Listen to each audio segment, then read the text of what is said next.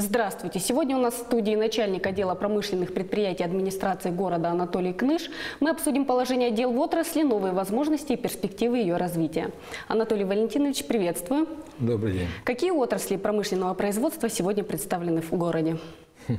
Ну, если, наверное, перечислять только даже отрасли, то есть их только по управлению промышленности 13 промышленных отраслей, и еще плюс по, еще по другим управлениям, то есть еще порядка, наверное, 6.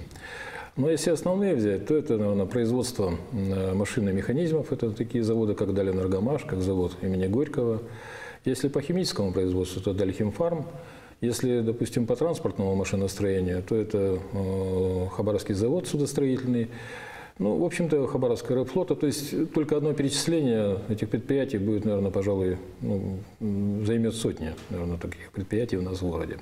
То есть, в принципе, на сегодняшний день еще к этим же э, относятся к предприятиям промышленности, это такие отрасли, как производство воды, газа, пара, то есть, соответственно, гор, водоканал, тепловые сети – вот относится тоже так, также к промышленным. Относится еще и вплоть до того, э, это по новому закону о промышленной политике, это переработка отходов. То есть, допустим, спецавтохозяйство городское тоже относится к промышленным предприятиям. Вот первый блок, который вы перечислили, как вы оцениваете их состояние?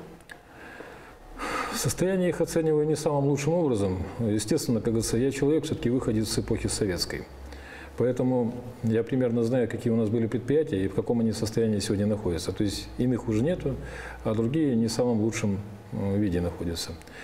То есть промышленность изменилась. То есть, допустим, если Хабаровск раньше был достаточно промышленным городом, то на сегодняшний день, скажем так, это больше, наверное, логистический центр, я бы его так назвал. Но, тем не менее, промышленность есть.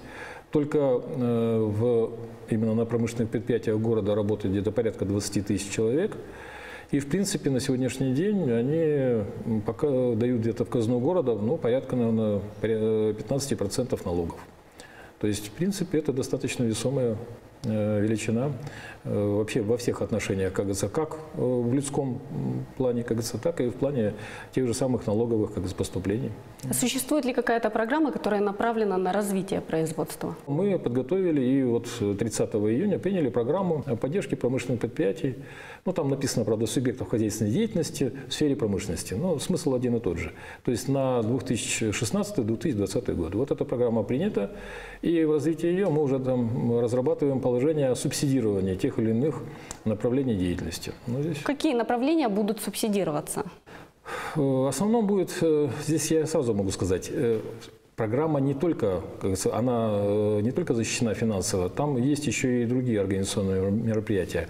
Но если касается финансов, то финансироваться будет в первую очередь создание новых производств, создание новой продукции, создание инженерной инфраструктуры, Потом э, финансирование будет производиться индустриальных парков, э, субсидирование будет производиться э, по линии поддержки научно-исследовательских проектов и проведения опытно-конструкторских работ. Затем субсидирование также предусматривается на поддержку экспортного потенциала предприятий и на переобучение кадров. Вот. А какой процент субсидирования и какие виды производства будут субсидироваться и финансироваться? Ну, так скажем, само э, финансирование программы получается где-то 70 миллионов на вот эти 5 лет. Реально оно начнется с 2017 года, то есть со следующего года. По распределению могу сказать, что, допустим, самое простое распределение у нас по поддержке индустриальных парков у нас предусмотрено 5 миллионов э, каждый год. По э, поддержке производства, непосредственно производства, создания инфраструктуры и создания новой продукции предусмотрено порядка 7,5 миллионов. Вот это. И потом на э, поддержку э, научно-исследовательских проектов где-то порядка полутора миллионов в год. На поддержку экспортного потенциала около 300 тысяч и на поддержку, на поддержку как за переподготовки кадров 250 тысяч в год.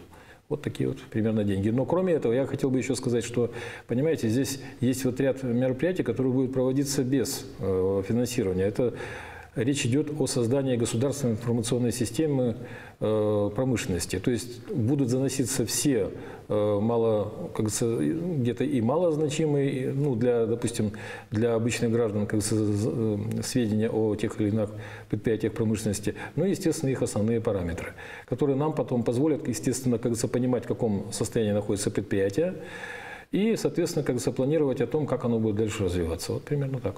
Вы напомнили мне об индустриальных парках. Да. ТСР Хабаровск насколько является драйвером для развития производства и промышленности? Ну, сразу начну с того, что индустриальный парк и ТСР – это принципиально разные вещи. То есть индустриальный парк – это вообще-то промышленная площадка, то есть для создания новых производств. У нас на сегодняшний день их два э, официально как бы ну, зарегистрированных это индустриальный парк «Авангард» и индустриальный парк «Даленергомаш». И еще готовится к регистрации у нас э, индустриальный парк Хабаровский завод строительной керамики.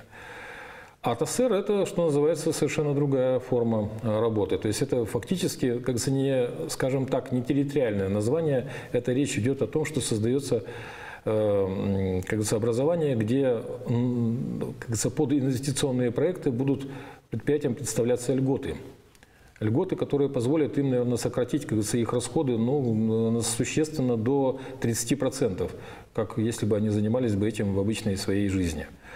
То есть и поэтому, допустим, сам по себе ТСР привлекает многих, не только, допустим, наших инвесторов, как вот, допустим, Технониколь он привлек, но и иностранных инвесторов. Они очень серьезно рассматривают вопрос о том, чтобы э, передислоцировать то ли производство, то ли инвестировать то или иное производство, которое будет в городе. Могу сказать, что этот процесс только начался. Поэтому, допустим, на сегодняшний день какие-то подводить результаты было бы наверное, абсурдно. Но само, само направление абсолютно верное. То есть, в принципе, так, наверное, выходил из своей разрухи, наверное, по большому счету, Китай. Это было в начале как 80-х годов. И результат тоже не сразу проявился. Он, наверное, пожалуй, как сыграл ну, спустя, наверное, лет 15, так по большому счету, когда все уже увидели результаты.